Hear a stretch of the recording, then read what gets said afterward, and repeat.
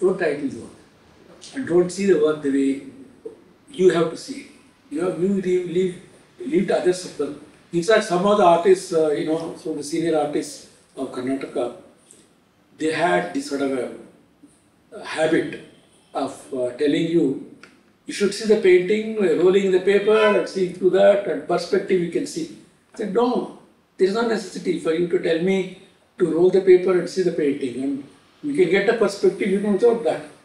That that's an old idea, habit, but that that also has it's died down to today. But yeah, I used to get these uh, people to tell me to see the painting that way.